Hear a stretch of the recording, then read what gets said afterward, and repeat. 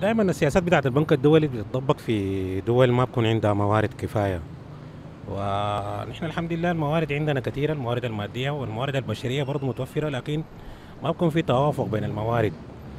آه، شايف انه سياسة البنك ال- ال- ال- الدولي ما بتتناسب مع السودان لأنها دائما هي بتحاول إنها آه، بتدخل سياسات قاسيه آه، نحن مواردنا الحمد لله إذا كان على الشتاء أو على الصيف إذا كانت موارد زراعية أو معدنية وهي متوفرة جدا. بس الإشكالية في سياسات الحكومة دول نفسها ما في سياسات البنك الدولي.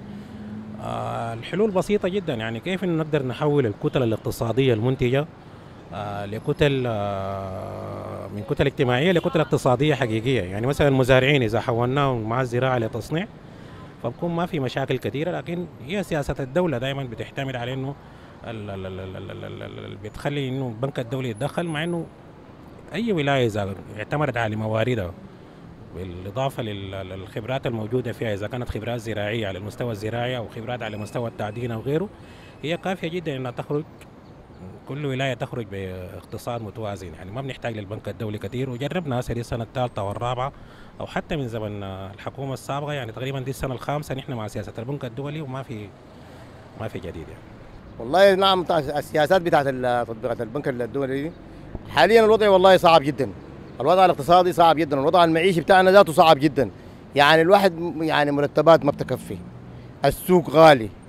وحاليا نتمنى يعني تتغير السياسات دي. لأنه الشعبي والله الواحد ما قادر هسه على الواحد مصاريف بتاعت الأولاد ما يقدر. المعيشة صعبة. الدراسة صعبة. ونتمنى يعني أنه الناس تنظر لمعاش الناس. أهم حاجة يعني.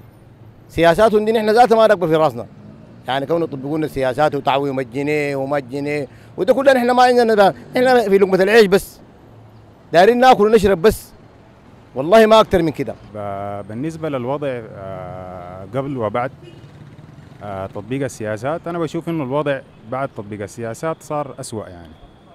الوضع قبل آه، التطبيق كان أفضل يعني. كان ال- المعيشة كانت نوعا ما أفضل. آه، ما ما ما السياسات بتاعت ال- البنك الدولي حقيقة ما ما يعني حتى في بلدان تانية برضو ما ما أظهرت آه، تحسن في الوضع. آه، الأمثلة كثيرة في دول كثيرة والوضع هنا برضو نفس الشيء ما ما تحسن يعني. ال- بالعكس الوضع كان من قبل كان آه، أفضل. آه، الوضع سيء سيء سيء للغاية. فالمواطن ما عليه إلا الصبر يعني ما ما ما في حل. آه، حتى المظاهرة والجوطة والحاجات اللي بيعملوها الناس دي آه، ما بتغير حاجة. لأن أنا لما أخرب الشارع وأقلع الانترلوك وأخرب لأخويا المواطن ما حل. فالحل إنه الناس تصبر شوية. يعني خرب 30 سنة في شهور ما ما بيتصلح. في سنة في سنتين في ثلاث سنة ما بيتصلح. فالناس تصبر وت... زي ما بقولوا. تجاهد بالصبر. ما علينا إلا الصبر يعني. لأنه ال- الشيء الحاصل على السودان والاقتصاد المدني والناس تر- ترجع لحاجات كثيرة. يرجعوا للزراعة يرجعوا يعني الناس تركوا الزراعة. زراعة الزراعة هي هي اللي ممكن تصلح لنا اقتصاد البلد. فإذا الناس رجعوا للزراعة ورجعوا للحاجات ال- اللي هي كانت زمان حاجة حلوة في السودان. انه السودان سلة غذاء العالم والليلة اليوم حدث ولا حرج. والله أصل الوضع الاقتصادي في السودان الوضع صراحة كده وضع يعني أقل حاجة يتقال عنه هو سيء. ما في أي نوع من الخدمات ما في أي يعني زمان كان كان الدعم فيه كان بيخفف الناس شوية. كان البنزين متوفر وكده لكن هسه بقى تعويم الجنيه وارتفاع الأسعار والتضخم ده كله مؤثر على المواطن. فالمضرين المواطن في النهاية. في تردي في جميع الخدمات الصحية التعليم الطرق كله ما في أي نوع من الخدمات أيوه. السياسات طبعا ضرت بالسودان أكيد طبعا. على الأقل زمان كان في دعم يعني. كان في دعم المواطن كان ما حاسب القصة دي. لكن هسه رفع الدعم من أي حاجة المواطن برضه يعني شنو؟ زادوا المرتبات بالنسبة للناس وبرضه التضخم عالي. يعني بيزيدوا مرتبات بيجاي تمشي تلقى الاسعار برضه طالعت بهناك. زيادة المرتبات ما ما تستفيد ما تعمل لك أي حاجة. آه أطلب من الحكومة إنها تراقب السوق. آه تخفض الاسعار بتاعت الحاجات وإن شاء الله الأمور بتظبط إن شاء الله.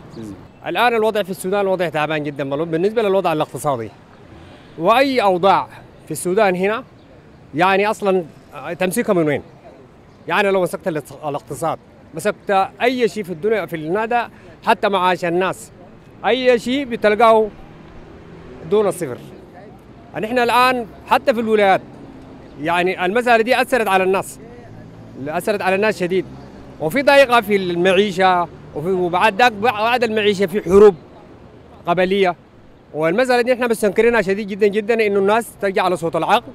وإنه تشوف المواطن المتأثر في خليك من العاصمة عندنا هنا.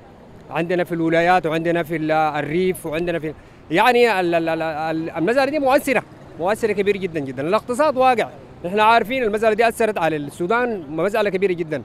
نحن شاكرين ومقدرين ودارين كسودانيين إنه يعني يحتكروا صوت العقلي ويقعدوا يميزوا ويشوفوا الشعب ده عاوز شنو.